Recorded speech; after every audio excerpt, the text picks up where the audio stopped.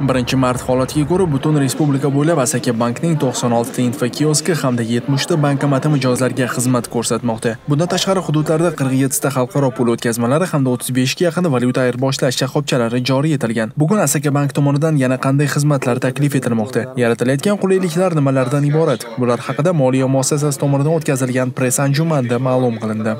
Asaka bank tizimida mijozlarga masofadan turib xizmat ko'rsatish takomillashtirilgan. Xususan, barcha filiallar qoshida 24/7 avtomatlashtirilgan to'xtovsiz xizmat ko'rsatish shoxobchalari tashkil etildi. Moliya operatsiyalarini amalga oshirish uchun esa korporativ internet banking, Asaka biznes kabi xizmatlar joriy qilindi. Jismoniy shaxslar bo'lgan mijozlar uchun Asaka banking Asaka Mobile mobil ilovasi foydalanilgan holda onlayn rejimda e, bir necha xil turdagi xizmatlardan foydalanish mumkin. Bular onlayn konversiya, e, bank depozitlariga mablag'lar kiritish, kreditlarni so'ndirish, kommunal, budjet, soliq, internet va boshqa xizmat bo'yicha to'lovlarni e, o'z vaqtida to'lash imkoniyatlari yaratilgan.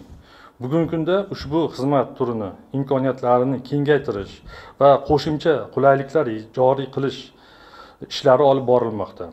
Ma'lumot o'rinda aytish joiz, 2019-yil 1-mart holatiga ko'ra Asaka bank tomonidan 10732 dona terminallar o'rnatilgan. Shuningdek, 1855480 dona kartochka muomalaga chiqarilgan. Kelgusida Asaka bank mijozlariga yanada qulay bo'lgan bank xizmatlarini joriy etishda davom etadi.